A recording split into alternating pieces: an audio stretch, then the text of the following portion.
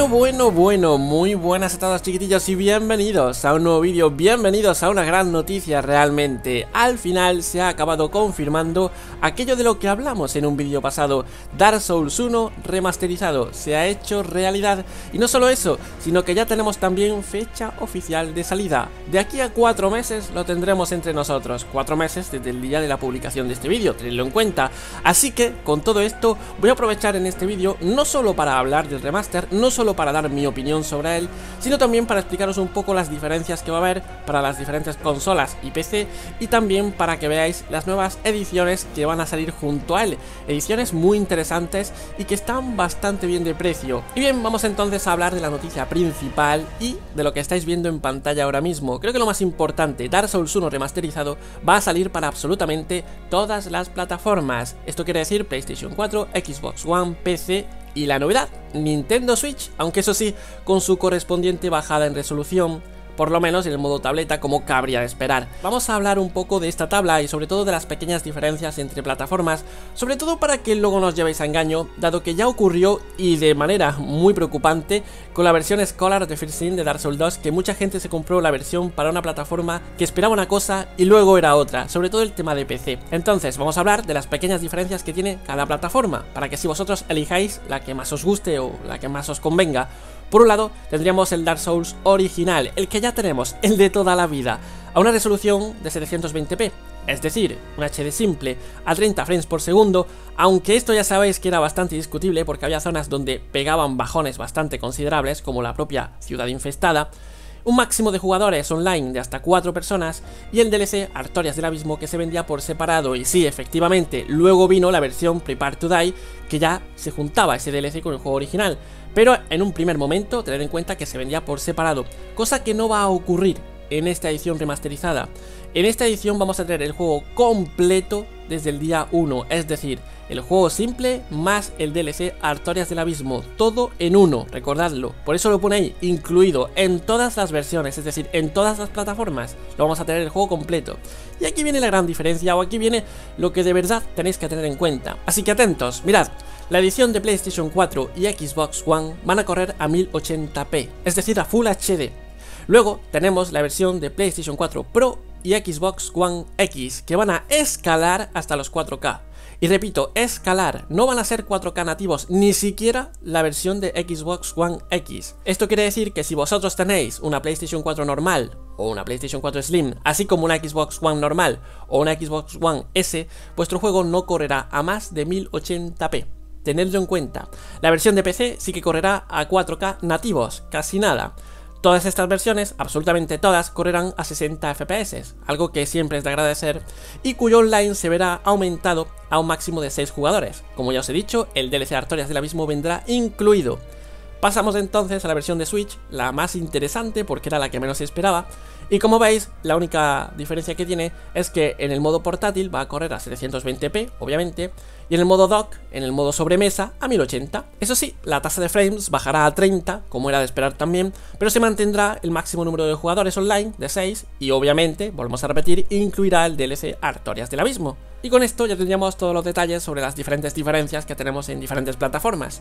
Deciros que el juego saldrá a unos 40 euros, un precio que está bien dentro de lo que cabe, está en el límite de ser un poco caro para ser una edición remasterizada sin más, y que también tendremos una edición llamada Artorias, tal cual, y que incluirá una figura y un pequeño llavero, lo que estáis viendo en pantalla, y que podemos conseguir a un precio de 55 euros si lo reservamos ya en Extra Life. Creo que se llama la página, la pondré en la descripción.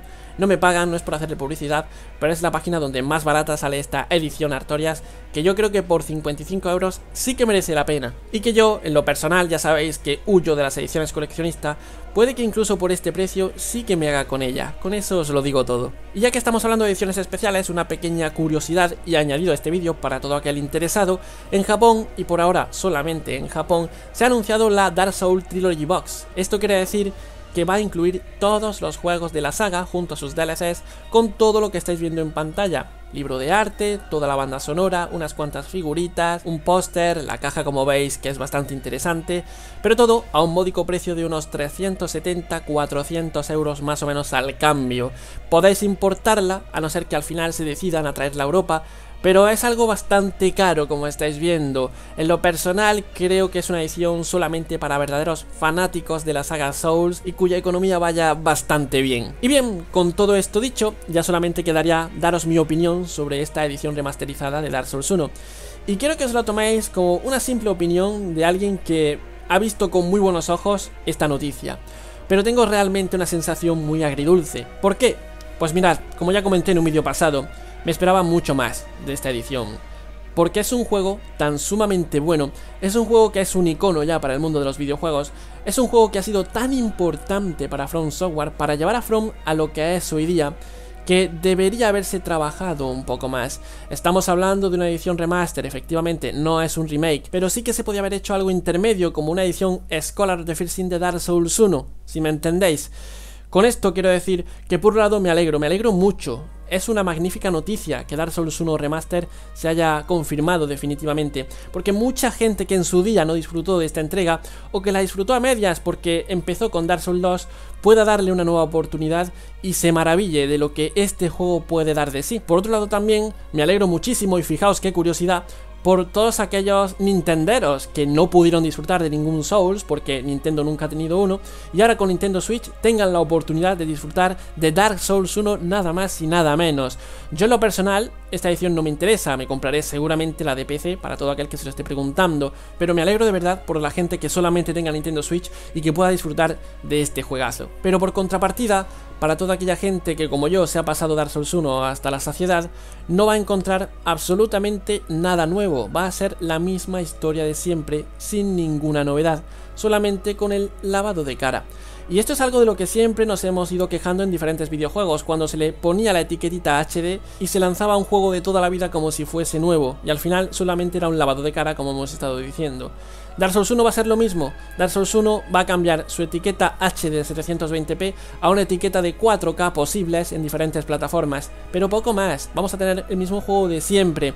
Y eso es algo que, vuelvo a repetir, como juego icónico de From, como juego que los ha llevado a donde están ahora mismo, creo que se lo podían haber trabajado un poco más, sin llegar tampoco al nivel de remake. No hacía falta eso, simplemente añadir algo diferente, no solo un mayor número de jugadores online, que eso es algo obvio, que ya viene casi por corriente propia de la nueva plataforma como es PlayStation 4 Pro o Xbox One X, estaba claro, pero algo más allá de una simple mejora en la calidad de texturas. Entonces, y en resumen, deciros que para mí Dark Souls 1 Remaster ha sido una magnífica noticia, quedaos con esto, al final vamos a poder disfrutar de esta magnífica obra de From con un lavado de cara, pero que tristemente y en mi opinión podría haberse explotado un poco más, podrían habérsele incluido diferentes novedades, sin tampoco llegar al nivel de remake, pero algo nuevo que llevarnos a la boca para toda aquella gente que ya se ha pasado el juego una y otra y otra y otra vez desde que salió. Y en lo que respecta al canal, tranquilos para toda aquella gente que se lo esté preguntando que lo traeremos de vuelta.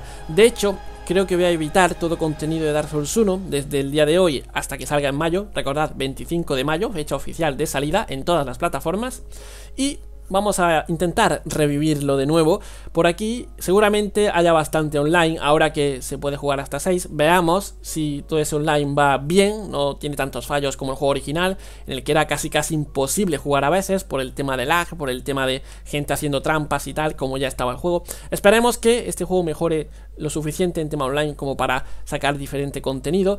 Y bueno, básicamente pasarnos de nuevo esa historia del no muerto elegido por la tierra del Ordran y ver a Norlondo en HD 4K y lo que queráis, que eso puede estar muy interesante. O incluso el pasarnos la ciudad infestada a 60 frames por segundo. ¿Os imagináis lo que puede ser eso? ¡Qué gran noticia, eh! En fin, con esto acabaría el vídeo de hoy, con esto acabaría esta gran noticia.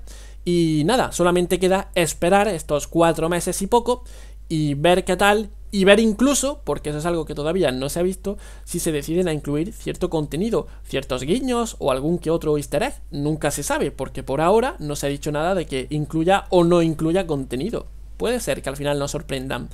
En fin, espero que os haya gustado el vídeo y nos veremos en próximos, así que hasta la próxima. ¡Adiós!